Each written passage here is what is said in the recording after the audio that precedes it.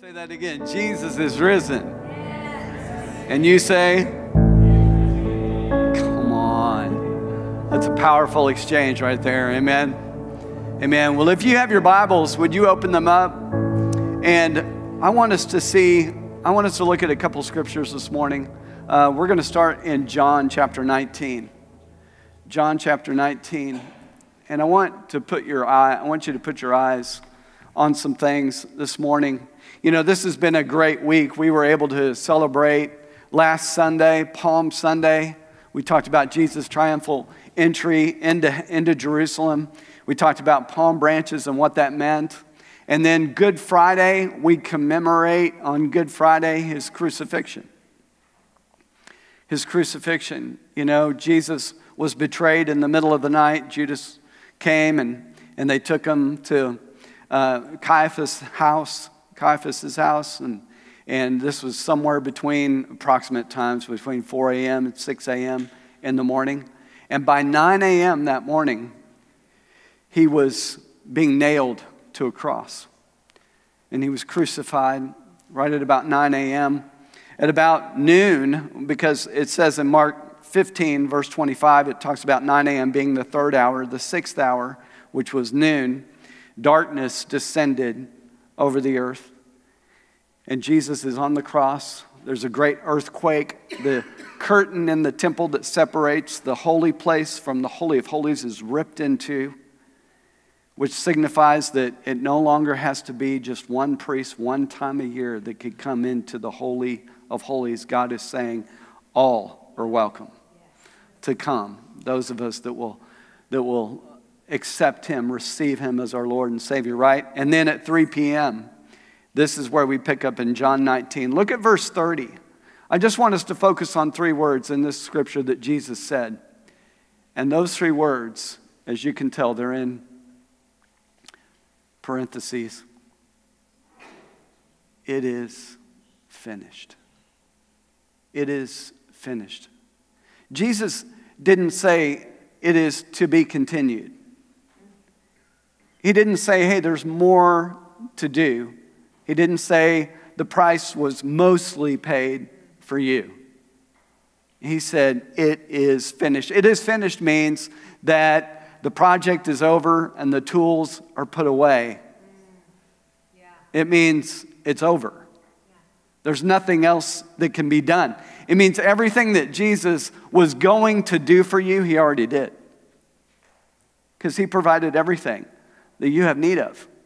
Everything that you and I would ever need in our life, He paid for. Imagine that. You know, I think about, I, as, as um, Dave was talking, I couldn't help but think about Philippians 4.19. I love that scripture because it set me free financially.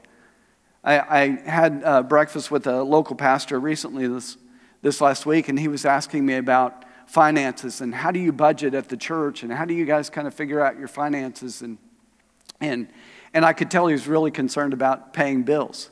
And I said, "Man, let me give you a scripture that set me free because Jesus finished the work. It is finished." He finished the work. Philippians 4:19, that whole chapter talks about finances. Paul said, "Hey, I've learned to be content. I've learned to be content when I have a lot, and I've learned to be content when I don't have a lot, when I have little." But he, in, this scripture, Philippians 4.19, is so powerful because he says, and my God shall supply all of your need according to his riches and glory by Christ Jesus, not according to your ability to bring it in. And it really set me free from anxiety, from fear, from worry, from concern. Because I know personally that if I'm keeping covenant and I'm a tither and I'm doing what the Lord told me to do and i told this pastor i said that's the first question you have to get answered is am i doing what god told me to do? Am i in his will? Am i living in covenant to the word of god? And if i'm not it's real easy to get right back in covenant. I can ask the lord to forgive me and i can get right into covenant. And then guess what? All of my needs are met according to his riches and glory not according to my ability to be a great fundraiser not according to my ability to get you guys to commit to a certain amount a year so I can know what our budget's going to be. Because I'm not looking to people, I'm looking to God. Too often we're looking to other things other than God when He finished the work. Man, that's good preaching right there, Pastor Phil. Yeah, it wasn't even a part of my message. Now turn over to John chapter 10. John chapter 10. Thank you, Dave, for being so transparent. I love Dave and Ellen. We just are so thankful for them. And Ellen's in children's church teaching, having a great time. She's teaching about the resurrection. The kid, and Alicia, yeah. And those kids, they get Easter baskets today. You guys don't get one because you're in here. You'll have to go buy your own. All right, John chapter 10, verse 10. This to me is my personal favorite verse when it comes to describing good and bad, describing the enemy and describing God. Because Jesus said this. He said in verse 10, The thief does not come except to steal, to kill, and to destroy. Those are the three reasons that he comes. He doesn't come to bargain with you, he doesn't come to be your pal, be your buddy. It's not going to be a big party in hell, it's going to be horrific. Right? So he comes to steal, kill, and destroy. He said, But I have come, this is Jesus talking, I am come that you may have life and that you may have it more abundantly. That's not just surviving, that's thriving. Yes. Yeah. That's not just getting by, that's all of my needs met and extra so that I can bless other people.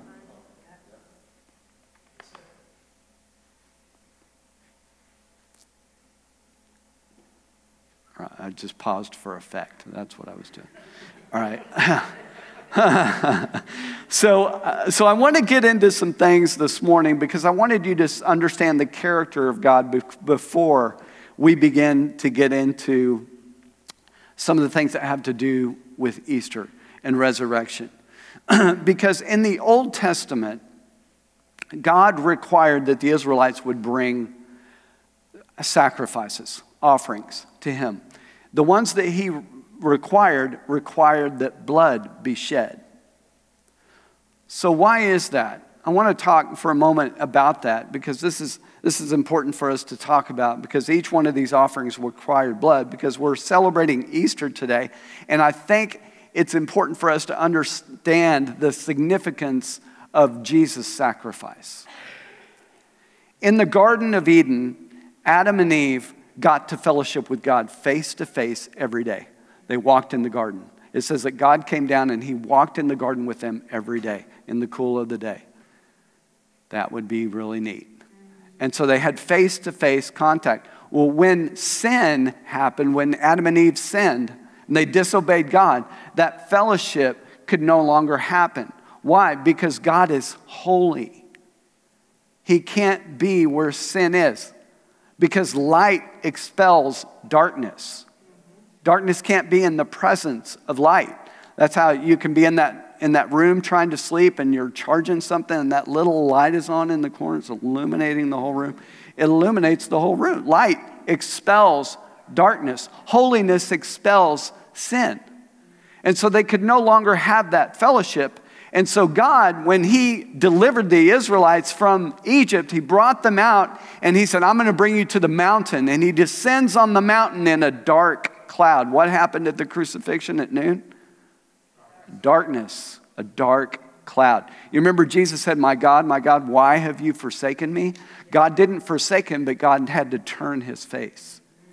Darkness of the cloud on Sinai concealed the glory of God because the children of Israel couldn't have experienced the glory of God and lived. Something to chew on there. And so, as we celebrate Easter, why would God send his son? God wants fellowship again with his children. He wants to walk with you in the garden. Well, Phil, I don't know if you looked around at the earth, it's under a curse. No, everything that you touch in your house can be a Garden of Eden. Yeah, so Hebrews chapter 10. I want to read something to you about Jesus coming. Hebrews chapter 10, verse 5 says this It says, Therefore, when he came into the world, he said, Sacrifice and offering you did not desire, but a body you have prepared for me. And in other words, you've prepared me, Jesus here to do your will. So, the animal sacrifice, when God looked at the animal sacrifices that were happening in the Old Testament before Jesus went to the cross, he's not seeing the blood of that animal. What he's seeing is Jesus shed blood on the cross. Because Jesus was crucified before the foundation of the world. We see that over in, in 1 Peter chapter 1, verse 20. It says this He indeed was foreordained before the foundation of the world but was manifest in these last times for, for you. That was in the New King James Version. Let me read it to you out of the NLT, New Living Translation. God chose him as your ransom long before the world began. But now, in these last days, he has been revealed for your sake. So, where was that revealed? It was in the heart of God Himself. Okay, so when God spoke, it happened Time later revealed it. So don't get frustrated when you speak good things over your children and you haven't seen it yet. Time will reveal it. That's what faith is.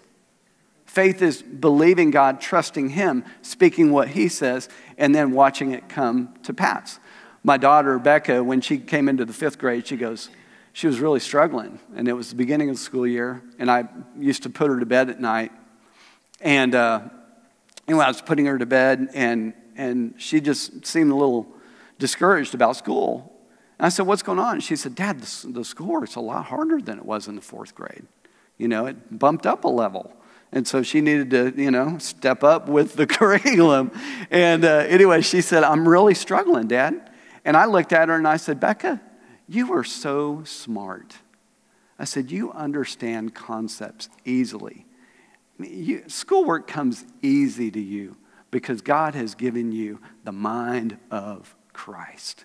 And I began to speak over her what I wanted to see. Time later revealed it because you know what happened? She began to do li- little better, little better. It got easier, it got easier, it got easier. Yeah, and so it works. So when God, so let me get back. So when God saw the blood of the animals, what is he seeing? He's seeing the shed blood of his son, Jesus. So why was blood required? Leviticus chapter 17 tells us the life is in the blood. The life is in the blood, blood, so that when God created Adam, and it says that he breathed life into Adam, when he breathed, blood began to circulate it began to flow through his veins because the life for the body is in the blood. Okay, so remember that. The blood, the breath of God, the blood is the life of God. So, why is the blood required? Let me put it this way because God is holy. Now, we don't have, because of our nature, it's not our fault. Look at your neighbor, say, it's not your fault. Especially if they're your spouse. It's not your fault. Especially if he's your husband. It's not your fault. No. the reason I'm having you say that is because we were born into sin. We didn't get a choice. We didn't get a choice. We were born in sin. We were conceived in sin. And so we, we were born in it. We were raised in darkness. And God is light. He is light, and light has no darkness in it. And so, this is the message of the gospel. You and I are born in darkness, we're conceived in sin, right? God is holy. It's not an attribute, just an attribute of God. It's not just a characteristic of God, it's His very nature, holiness. So, He's that light, right? And so, when we say, God, you are holy, we are declaring the absolute nature of God. Think about it in heaven right now. They're worshiping God. They're saying, Holy, holy, holy is the Lord God Almighty who was, who is, who is to come. All right. So, because He's holy, darkness has no place in His presence. So, sin has no place in His presence. It's the way that light drives out darkness, His holiness drives out sin. It can't live in His presence. So, so let me say it this way God's presence is both life giving, but it can be death giving as well. All right, so what's the answer? God loves us so much he had a plan. He knows the end from the beginning. He had the plan, it's spelled out in Genesis. You can go back and read it.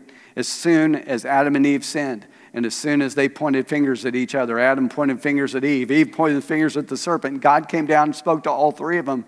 And he, and he, are, and he shared the gospel plan right there in the garden. He had a plan right there. So think about this. God told the Israelites, they're making sacrifices. He told them, He said, Because my covenant is with you, I will not eliminate you from, from my presence, but I will require the elimination of a life. And that's the sacrifice. So the priest would sacrifice, you know, the lamb, the goat, whatever, whatever the appropriate sacrifice was, and then he would dip his hand in the blood and he would splatter it against the altar seven times. Prophetically revealing the seven times that Jesus would bleed for you and I. What is Jesus called? He's called the Lamb of God.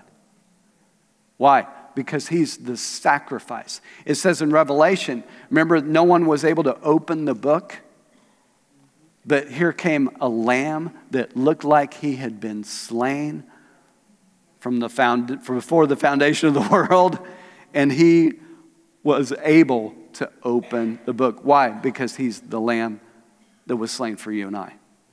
He was the sacrifice. And so he bled seven times. The first time he bled was in the Garden of Gethsemane. So Judas betrayed him on Thursday night, right? And, and here he is in the garden. They've left, the la- they've left supper together. They sang a hymn. They went out to the garden. Jesus begins to really have a heavy heart. Why? He knows what's coming, he knows the price that he's about to pay. And so he begins to pray. And it says that his prayer, that his blood became like drops of blood. Let's read it. It's over in uh, Luke 22. I'm going to read it out uh, starting in verse 42. Jesus began to pray, saying, Father, if it is your will, take this cup from me. Nevertheless, not my will, but yours be done. Man, that's the best prayer that we can ever pray is that God's will would be done in our life. Amen. And then verse 43 then the angel appeared to him from heaven, strengthening him because his disciples were asleep and couldn't strengthen him. And so here comes, no, I'm teasing, but it's true, they were asleep. And in verse 44, and being in agony, he prayed more earnestly. Then his sweat became like great drops of blood falling down to the ground. The Illustrated Bible Dictionary, dictionary um, defines agony as a struggle with evil at the present time, right now, currently. So he was struggling with that. And so the interesting thing is now, I'm not a medical, I know very little about medicine. Okay, when I get a prescription filled, I never try to say what the name of the medicine is. Just, it's, here's my birthday. Okay, so so I, am not going to try and pronounce this word, but it's a condition that occurs under conditions of extreme physical and emotional stress when your sweat can turn into drops of blood. So it's an actual condition. First place, he, he bled, Garden of Gethsemane. Second place, he bled, the house of Caiaphas. Let's look at that over in Matthew 26. It says this that then they spat in his face and they beat him, and others struck him with the palms of their hands, saying, Prophesy to us, Christ, who is the one who struck you? So this is, this is uh, at Caiaphas' house, the high priest. And then in Isaiah 50, verse 6, listen to this. It says, describing this incident in verse 6 I gave my back to those who struck me, and my cheeks to those who plucked out my beard, literally ripped out his beard and I did not hide my face from shame or spitting. That's the second place. The third place, he bled before Pilate. He was brought before Pilate. Pilate, you remember, he wanted, he didn't feel that Jesus had done anything worthy of death. You remember that, right? He didn't, and so he tried to get him released. So one of his strategies was, if I, if we scourge him, then possibly the Jews will just let me release him because he hasn't done anything worthy of death. Only the Romans were brutal. They were brutal. Listen to what it says in the NLT in John 19, verse 1. Then Pilate had Jesus flogged with lead tipped, with a lead tipped whip. I think Passion of the Christ really displays this so well.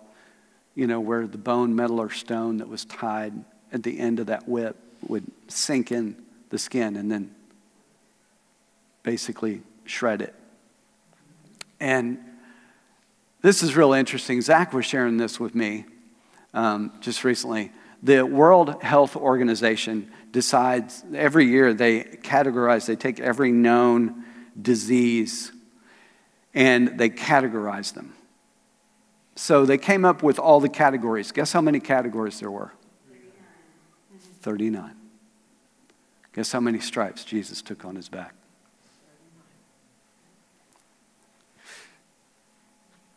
By his stripes we are healed. Amen. Fourth place was the crown of thorns. It says in that same chapter, John 19, verse 2, that the soldiers twisted a crown of thorns, put it on his head, and they put it on him. They put a purple robe on him, and they said, Hail, King of the Jews. And they struck him with their hands. Fifth place was Golgotha. So Jesus carries the cross with the help of Simon of Cyrene, helps carry him, carry his cross down the Via Dolorosa, and they come to a place called Golgotha, which means the place of the skull. I've actually seen a, a, an old picture because now that place where, where they believe Golgotha was is a bus parking lot, and there's a hill in the background. And the old picture that you can see, you can actually see a skull in the side of the hill. You can make out a skull, place of the skull, where Jesus was crucified. So this fifth place was when they nailed his hands, this, that fifth time. The sixth time was when they nailed his feet. The seventh time was when they put a spear in his side and he bled. So I want to read this. This is a very interesting scripture. Isaiah, God used him just tremendously, and he prophesied this. Listen to this scripture and tell me what you think. In light of the priests that would take the blood and would splatter it seven times against the altar. It says this in chapter 52, verse 14 Just as many were astonished at you, so his visage was marred more than any man, and his form more than the sons of men so shall he sprinkle many nations. Hmm. So, just as the priest took the blood and sprinkled it against the altar, Jesus took his blood and sprinkled it against the nations. Uh, are you guys getting this? Okay. All right, so the sprinkling of the blood. Why did he become flesh? I want to read to you now Philippians chapter 2, verse 6. And this is out of the J.B. Phillips translation. It's very interesting how this reads. In verse 5, it says this Let Christ himself be our example as to what your attitude should be. For he who had always been God by nature did not cling to his prerogatives as God's equal but stripped himself of all privilege by consenting to be a slave by nature and being born as mortal man. And having become man, he humbled himself by living a life of utter obedience, even to the extent of dying. And the death he died was the death of a common criminal. That is why God has now lifted him so high and has given him the name beyond all names, so that at the name of Jesus, every knee shall bow, whether in heaven or earth or under the earth. And that is why, by the way, under the earth is hell. Yeah. Hell is in the center of the earth. Okay, just so you know. And that is why, in the end, every tongue shall confess that Jesus Christ is the Lord, the glory of God the Father. Now, I want you to go over to Psalm 22. And uh, Rebecca, I'm going to ask you to help.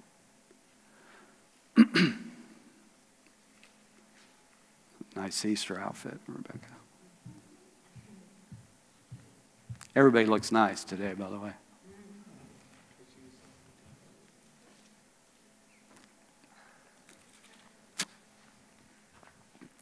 Psalm 22. I think it's so interesting that one of the first things that Jesus said on the cross was, My God, my God, why have you forsaken me? And the last thing that we see that he said, recorded in Scripture, is what we read to begin, which is, It is finished. Because this, these are the bookends to Psalm 22. Now, let's read some of Psalm 22 together. In the fir- very first verse, it says, My God, my God, why have you forsaken me? Now, some people think that this is David talking about his woes. Can you forgive me for a minute?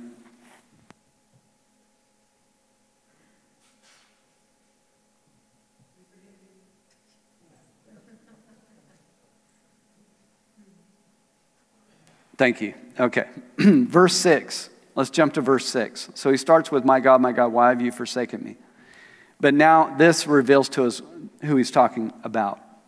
In verse 6, it says, But I'm a worm and no man, a reproach of men, and despised by people. All those who see me ridicule me.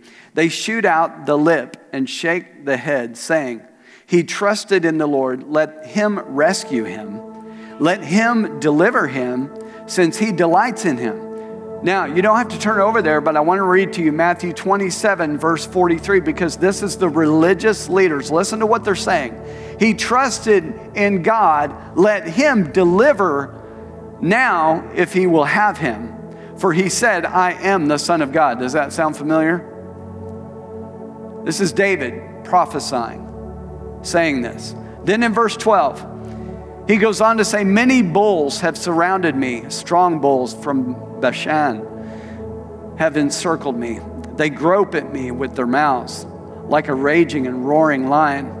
I am poured out like water, and all of my bones are out of joint. My heart is like wax, and it has melted within me. My strength is dried up like a potsherd, and my tongue clings to my jaws. Another verse says, My tongue clings to the roof of my mouth. This is very interesting because when one of the symptoms of significant blood loss is extreme thirst.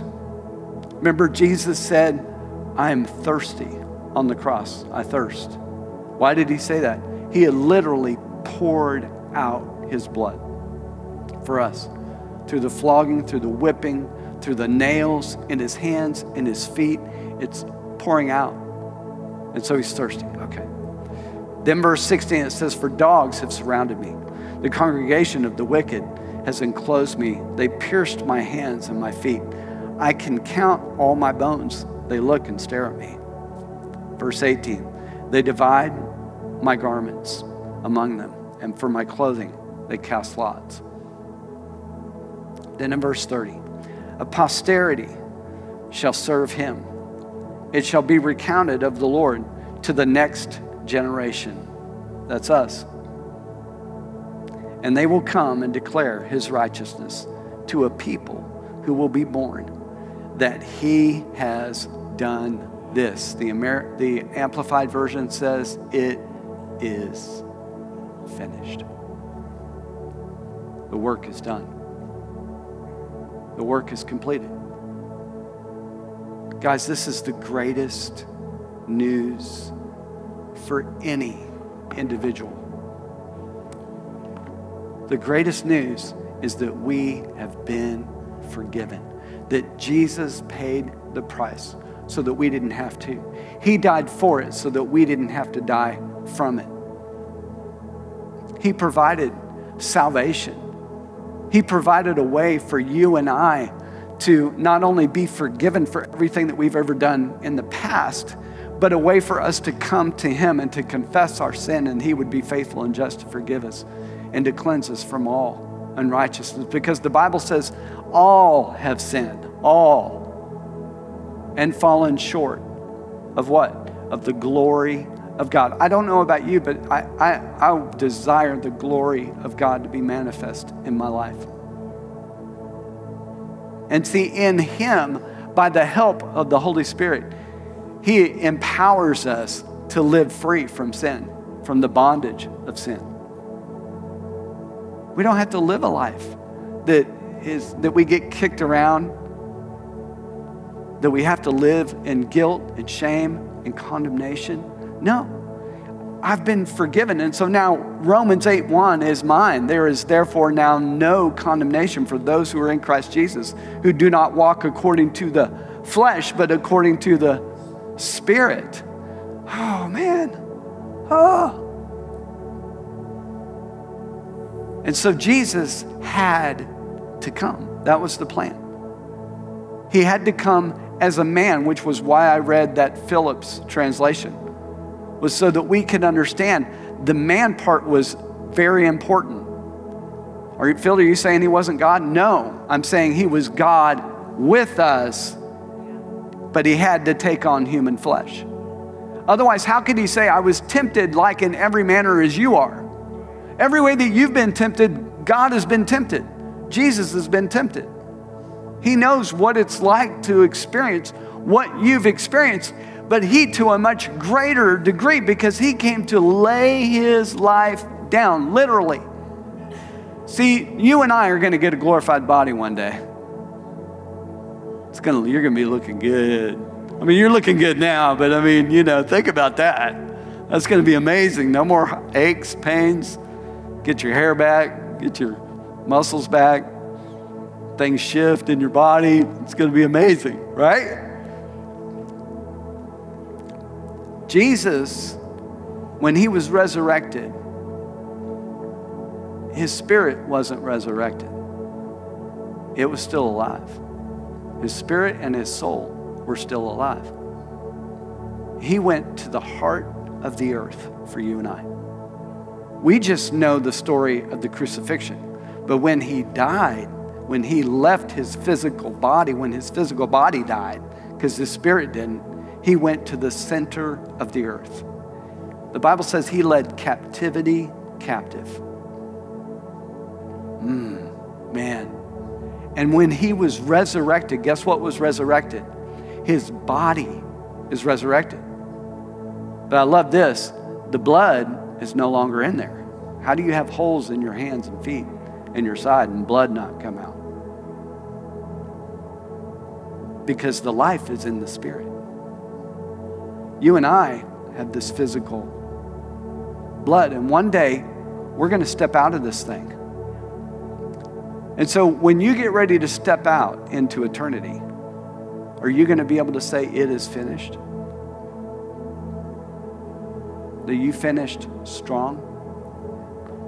Or are you hoping that God will be merciful when He's a just judge? Because when we step out of this body, it's too late. But you have this moment here, now. We're not promised the next moment, we're only promised the one we're in. We're living this right now, so it must have been promised to us. And I don't want anybody to check out right now. This is not a good time. But I'm just saying that God wants us, He wanted to provide this opportunity for us. So I, so I can't live and hold on to sin over here and drag that into heaven with me and expect Him to be merciful on this side. No, He said to, to deny yourself, take up your cross, and follow me. What does that mean? That means flesh gets to die. Do you know what deny yourself means? Let me, let me put it very simply. There's a bowl of M&Ms and there's an apple. And you're trying, you want to eat healthy, right? And so you say, okay, not eating the M&Ms. And you grab the apple. You might not be happy about it, right? But you eat the apple, right? What is that? That's denying self because self wants the M&Ms. I'm just trying to put it simply. That's me. I don't know about you, but I want the M&Ms, but I'm going to the fridge and getting an apple because I want to make a better choice. No, I'm just saying this is denying self. And then what happens? See, we can't come to the cross and do what they did in the Old Testament and just keep repeatedly making sacrifices, making sacrifices, making. Why can't you do that? Because he already made the sacrifice. He is risen. He already paid the price. He became the ultimate sacrifice. Yes, I have to receive Him, but if I receive Him and I choose to continue in sin, there's no longer a sacrifice. Thank you, Steve. Steve, help me preach. There's no longer a sacrifice. Why? Because I'm continuing in sin. But I'm telling you, today is our day. This is your day to let go of this and to take up your cross and follow Him. Live free. Live free. Don't gamble. You don't want to step into to eternity with a maybe. Mm-mm. We want to step into eternity knowing Him. So, would you bow your heads close your eyes all